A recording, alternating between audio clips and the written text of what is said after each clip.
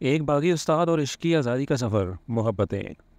मोहब्बतें की कहानी गुरुकुल नामी कॉलेज के सख्तगीर प्रिंसिपल नारायण शंकर अमिताभ बच्चन, जो इश्क को कमज़ोरी समझता है और अपने तलबा को इसकी राह पर चलने से मना करता है। लेकिन जब एक नए म्यूज़िक टीचर राजा रायन मल्होत्रा, शाहरुख खान की आमद होती है तो सब कुछ बदल जाता है। और राज आज़ाद ख्याल और नौजवान है, जो तलबा की दिलचस्पी जगाता है और इन्हें मोहब्बत की अहमियत सिखाता है।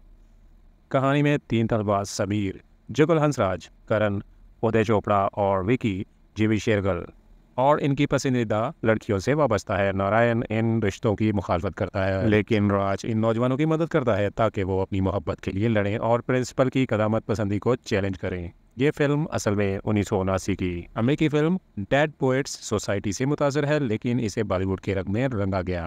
फ़िल्म में खूबसूरत मौसीकी रक्स और रोमांस मौजूद है। फ़िल्म में वालद और बेटी के तल्लक की खूबसूरत अक्सी की गई है। नारायण अपनी बेटी मेगा की खुदकुशी के बाद अपनी सख्त पीढ़ी पर पछताता है। फ़िल्म नौजवानों के जोश और जज्बे और मोहब्बत की आज़ादी के लिए इनकी जदोजहद को दिखाती है।